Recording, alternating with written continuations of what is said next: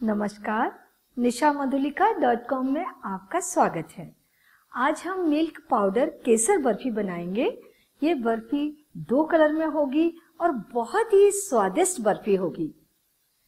बहुत सारी जगह मावा नहीं मिलता तो बर्फ़ी को मिल्क पाउडर से बनाया जाता है। और मिल्क पाउडर से बनी बर्फ़ी उतनी ही स्वादिष्ट होती है जितनी कि मावा से बनी बर्फ़ी होती है। तो आइए मिल्क पाउडर केसर बर्फ़ी बनाना शुरू करते हैं। इसके लिए हमने दो जगह इंग्रेडिएंट लिए हैं।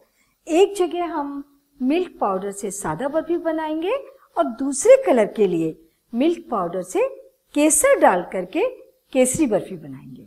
तो पहले हमने ये एक कप मिल्क पाउडर लिया है, आधा कप पाउडर चीनी है, एक चौथाई कप अनसाल्टेड बटर है।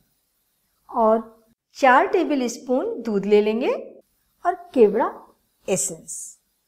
दूसरे इंग्रेडिएंट, हमने आधा कप मिल्क पाउडर लिया है, एक चौथाई कप पाउडर चीनी है, दो टेबल स्पून अनसाल्टेड बटर, दो टेबल स्पून दूध और 30-40 धागे केसर के।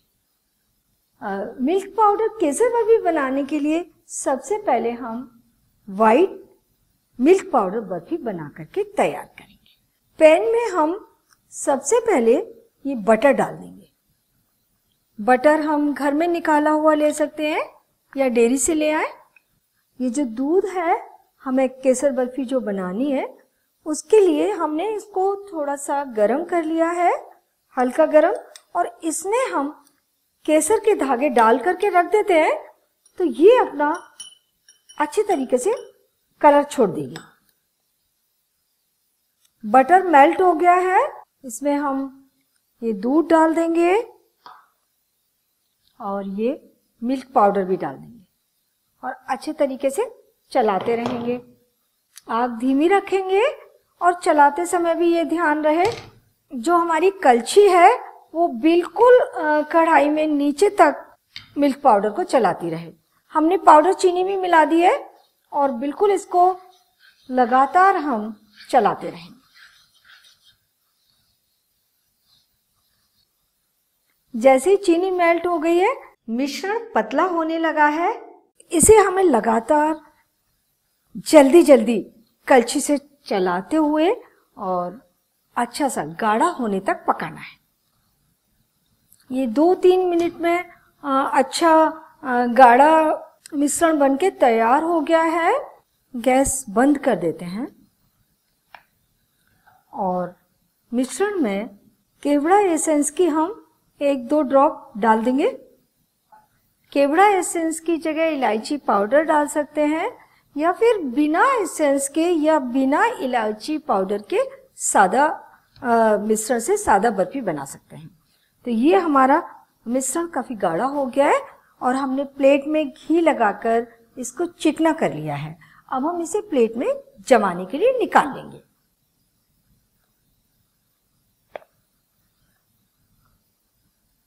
और चम्मच के नीचे थोड़ा सा घी लगा करके हम बर्फ़ी को ऊपर से प्लेन कर लेंगे। और ये हम इसको चारों तरफ़ से एक जैसा कर लेंगे। ये बर्फ़ी को हम जमने देते हैं और अब हम केसर वाली बर्फ़ी बनाकर तैयार करते हैं। तो ये हमने जो केसर का दूध बनाया था, केसर दूध में डाल के रखी थी, वो कढ़ाई में डाल लेते हैं। और ये बटर भी हम इसी में डाल के दोनों को गरम कर लेते हैं।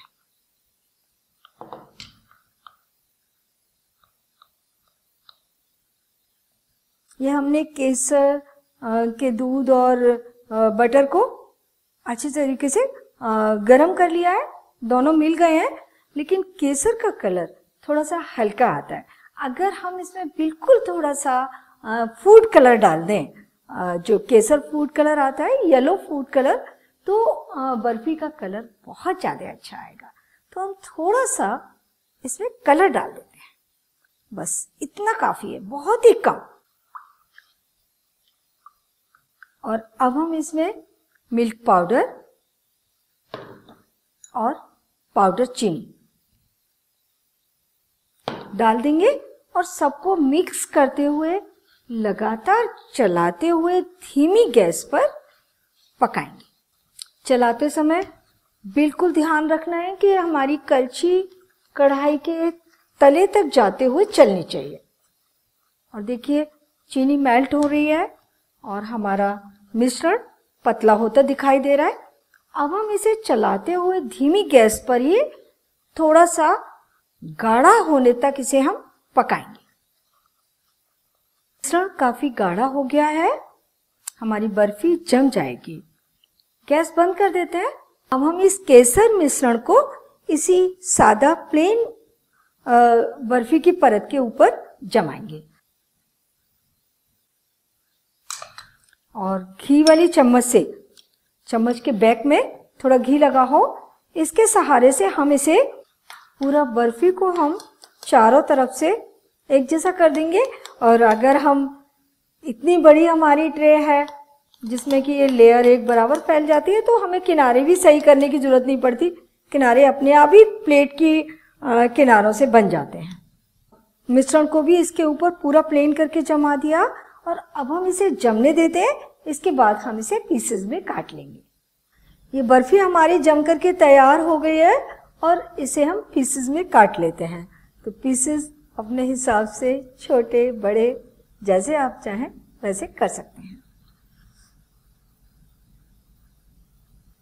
मिल्क पाउडर केसर बर्फ़ी बन करके तैयार है।